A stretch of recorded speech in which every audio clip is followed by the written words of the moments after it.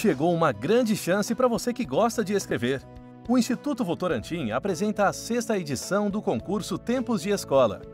O tema deste ano é Nossa cidade também ensina. A educação está em todos os lugares. Os alunos e professores das escolas participantes concorrem a computadores, câmeras fotográficas, troféus e ainda participam de uma matéria a ser exibida aqui no canal Futura. Quando eles verem a escola, né, sendo destaque em algum movimento, né, isso o pessoal fica bastante feliz, né? As inscrições vão até 10 de julho. Veja como participar no site www.blogeducação.org.br.